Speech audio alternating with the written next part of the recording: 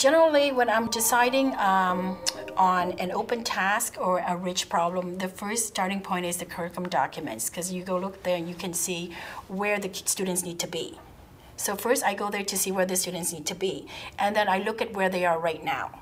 And then to me, it's like a series of steps. So I have to think of what step do I need to move them up, and it's uh, so each lesson would be a step. So it's like a series of steps. They're right here, so they're going to go to this step, and then this step to this step.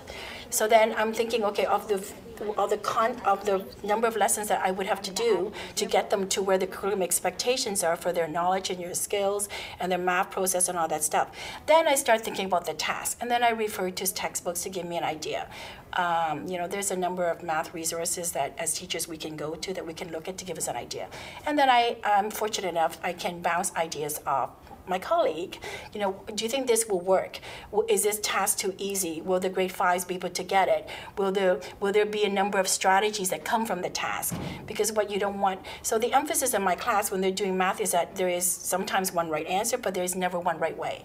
So that you can approach it from a number of different ways. And you saw that today. Like students were using a whole host of different strategies to get to the answer. So then I think of that, and then I also think of the groups that they're in. I've designed the task and I think that they can achieve it, then I'm going to get a number of different results.